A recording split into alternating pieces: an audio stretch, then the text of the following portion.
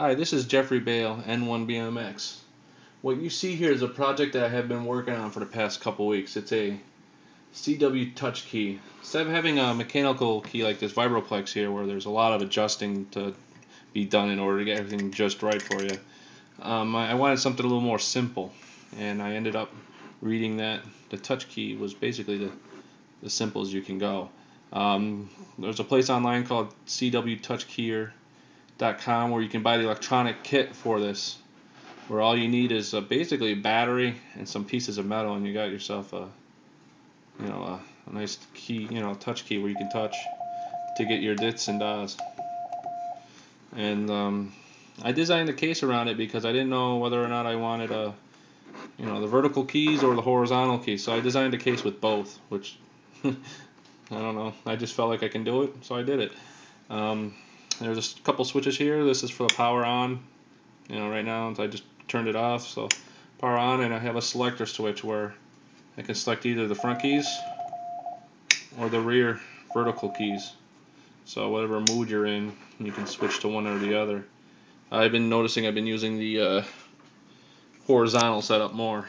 Um, I'm still new at Morse code, so I still got a lot to learn, but so far I am loving this. Right now what you're seeing is still in a prototype stage where the brass keys right here for the horizontal is actually in a piece of fiberglass, but I gotta mold it in there and that'll take some time. So I just taped it just to see if this thing even works. Um, the base is a sturdy 3 8 plate material here if I can get my thumb out of the way. It's 3 8 plate and the rest of it's made out of 16 gauge steel with 16 gauge 062 brass contacts for the, the contacts. Um, my radio is an FT950 and it has a built-in keyer, so this is perfect for it. You know, I can do the, I can set the speed from here and do 50 words a minute, which I will never do. I can't do that. Or I can go at my much more comfortable 18 words a minute you know, comfortable at that right now. So this is it. I just wanted to show people, and if you go to n1bmx.com, you can see the build, how I built this and designed this. And if you have any questions, you can ask there. Um, I plan on having it painted and doing a little more adjustments. I realize that the screws that you see here, I designed for 1032, a little too big. But overall, it's pretty good can send I can send code decent, but I'm horrible. yeah, see.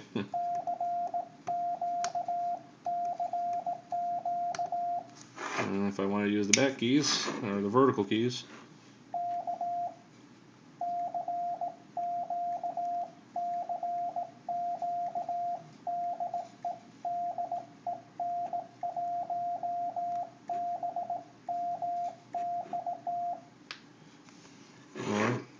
I can use the horizontal keys, all depending on the mood you're in. I messed up, sorry.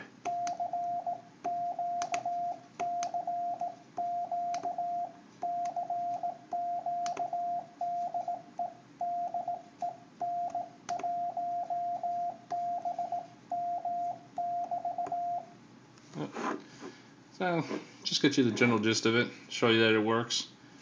Um, get some more pictures up at N1BMX when it's painted and done. I doubt you'll ever see something like this, but I think it's pretty neat. You know, 3 8 plate base makes it a lot heavier, so keeps it from moving as much. And when I get the rubber feet installed, it won't move that much at all. Hope you enjoyed this, and if you have any questions or comments, I'll try to answer them. As I said, I'm not a genius or the best at CW or anything having to do with CW, but I thought it was a fun project to build. And um, it's going to probably look pretty good when it's done.